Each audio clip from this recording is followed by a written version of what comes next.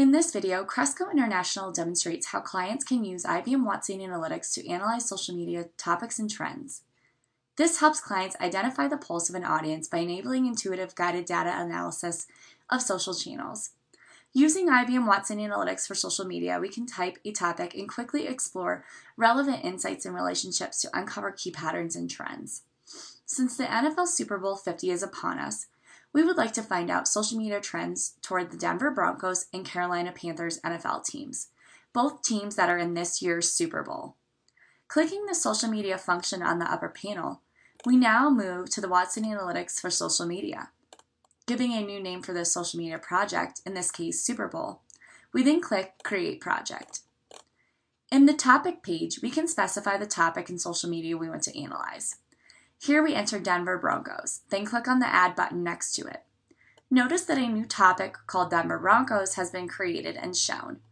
Drilling through the topic, we can determine what kind of terms should be included or excluded for the topic, and specify different kinds of terms.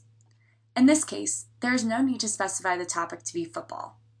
The right panel shows the suggestion keywords that are related to the topic. As social media changes every second, you can refresh to see what the latest suggestions are.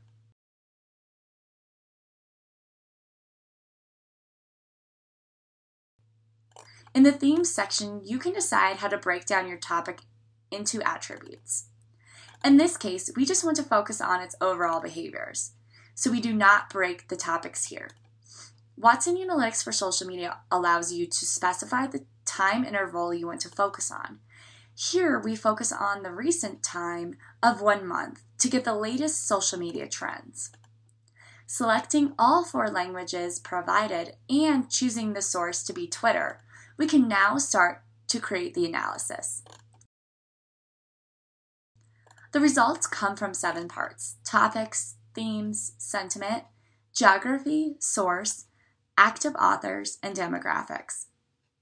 In topics, we can clearly see the social media trends of each day, which topic is hotter at a certain day, and in this case, there were more discussions about both teams on Christmas.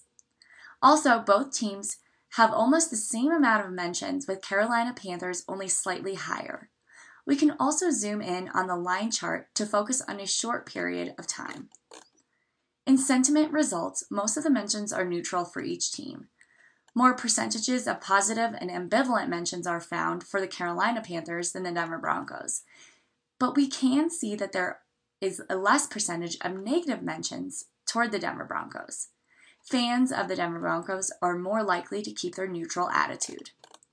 In addition to sentiment, we can focus on geogra- geography characteristics of those Twitter mentions. We can also see that among 22,280 total mentions, 9,283 are from the United States, and the rest are from all over the world. Drilling down to lower geography levels, we can see the detailed Twitter mentions of each state or each city. Watson Analytics for social media also provides the ability to track the source of all mentions. In the author page, the top 20 authors that generated the most content will be shown in the tree map according to the volume of the content. The deeper color indicates that there are more followers of this author. Some people choose to reveal their gender, marital status, and parental status on the social media website. In the demographics, we can see that the percentage of mentions by demographics.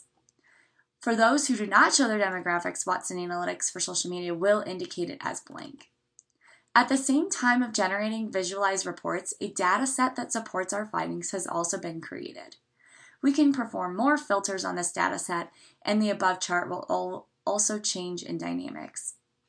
To see how your organization can benefit from IBM Watson Analytics for social media, contact Cresco at info at crescointl.com or call 844 6 Cresco.